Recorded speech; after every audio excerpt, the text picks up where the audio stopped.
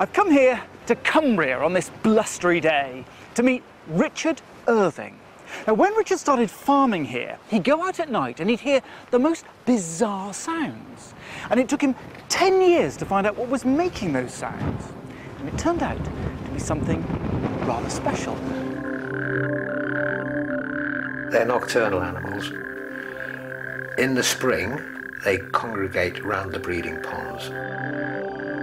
When you approach the noise that they're making, you can find them, and there they were, something we'd never seen before. I didn't realize it was anything special. So it's a real joy. So, what is this special animal? Well, I've come out with Richard to uncover the mystery. Yo, God, loads. Loads of them. loads of them. Have a look, have a look. Come down here. Are you ready? This is exciting. This is very How many have we exciting. Look at that. Oh, three, That's a. Oh, look. That's little beautiful. Yeah. This is a natterjack toad. And you can tell it's a natterjack because they've got this bright yellow stripe down their back, and a common toad would never have that. And my friend Chris Packham calls these the Lamborghini of the amphibian world. That's because they're such fast runners. they Yeah. are quick runners, aren't they? They Yeah, don't jump, yeah. but they run. And look how short their back legs are compared with a frog. They are very short. Mm. They'd be no use for the French, wouldn't they? Richard. How long could they live to potentially? Teenagers, 14, 15. And they are pretty rare, aren't they, Richard? Very rare. There's about 50 sites in the country where they are. What do they need to be successful? Well, the, the sites that do exist all seem to be on the coast. Um, and I think that's probably because it stops the encroachment of the common toad, the competition from the common toad. Natterjacks are in trouble. Their numbers have declined all over the country. But Cumbria is a stronghold with over 50% of the population living here. On Richard's farm, he does everything he can to help these increasingly rare animals thrive. Grazing sheep help produce short grass runways for those Lamborghini legs to run around in and find food. And by digging shallow pools, he's created perfect breeding habitats.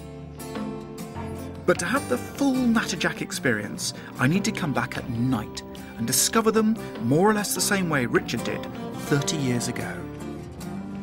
So here we are, Richard, on a chilly Cumbrian night. Yeah, but too cold, I'm afraid. It's quiet at the moment. What do we do? Wait and hope. Yes, and it will happen, I'm sure.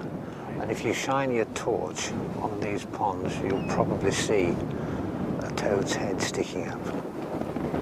And we're listening out for, if it does happen, it's the males. It's only the males that call, yeah. They'll be down here every night. So, can you hear that one? One will start up and then another one will join it. Before you know where you are, you'll have a, whole gang making around. That's exactly what's happening.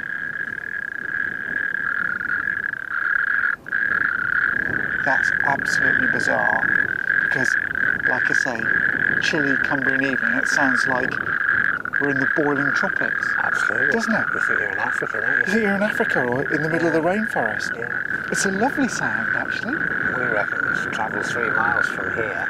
Three miles. Three miles. Natterjacks are the loudest amphibians we have in Europe, and the call is made by their voice box, and the balloon-like pouch helps project the sound. I'm staggered that such a tiny little creature, relatively, can make such a din.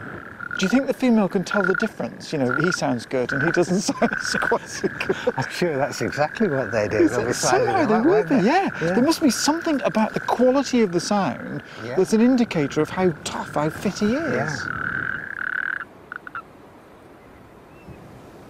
It's completely stopped now.